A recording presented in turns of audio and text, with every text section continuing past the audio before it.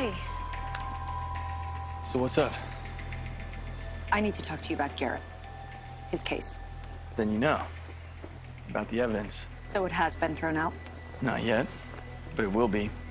Look, I think I might have a way to make sure that Garrett's case doesn't fall apart.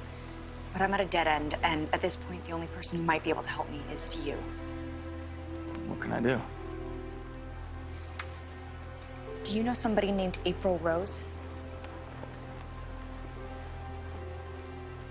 You've never heard of her?